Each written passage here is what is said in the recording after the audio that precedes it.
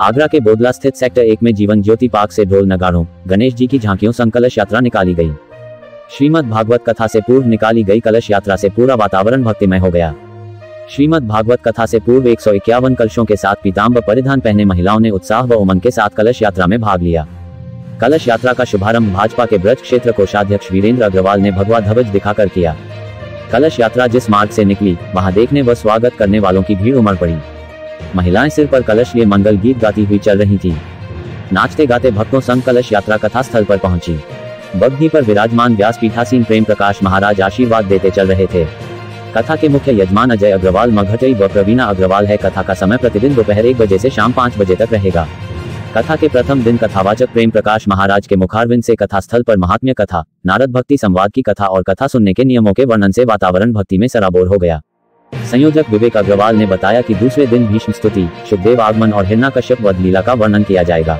Jeevan Jyoti hospital के प्रांगण में सेक्टर में, आचार्य श्री प्रेम प्रकाश जी महाराज द्वारा श्रीमद भागवत कथा का आयोजन छह तारीख से बारह तारीख तक किया जा रहा है। आज प्रथम दिन प्रातःकाल में जो विधि विधान से जो कलश यात्रा का व्यवस्था होती है, वो आज दो सौ इक्यावन कलश द्वारा आज सभी माता बहनें इकट्ठी हो रही हैं और कलश यात्रा, भव्य कलश यात्रा का शुभारंभ श्री वीरेंद्र अग्रवाल जी रक्षे कोषाध्यक्ष द्वारा किया जाएगा।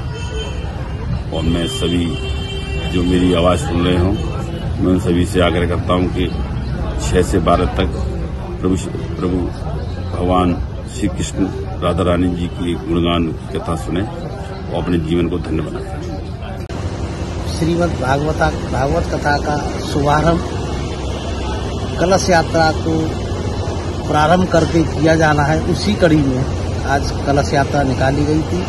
सौभाग्य से प्रभु श्री राम के, भगवान कृष्ण के आशीर्वाद से उनके कहूँगा उनके ही कर कमलों से मुझे ऐसा सौभाग्य मिला जिसमें मैंने हरी झंडी दिखाकर का शुभारंभ किया। और समिति को भी मैं इस चीज़ के लिए थोड़ा सा आभारी कहूँगा। उनका भी मैं आभारी हूँ कि मुझे ऐसे पुण्य काम करने के लिए जो मौका दिया है, मैं उसमें आज कलश यात्रा की हरी झंडी दिखाकर शुभारंभ किया है। और यहाँ सात दिन की जो भागवत कथा होने जा रही है, आज से लेके बारह तारीख तक कथा होगी। और आदरणीय, पूजनीय अपने महाराज जी के श्री मुख से कथा बोली जाएगी। और हम सब इस क्षेत्रवासी और शहर के लोग उनकी कथा का सब पान करेंगे और ईश्वर की भक्ति का एक अलग ही आनंद मिलेगा। ऐसा मेरा सभी से कहना है और आप सबके श्री चरणों में मेरा बंधन, अभिनंदन।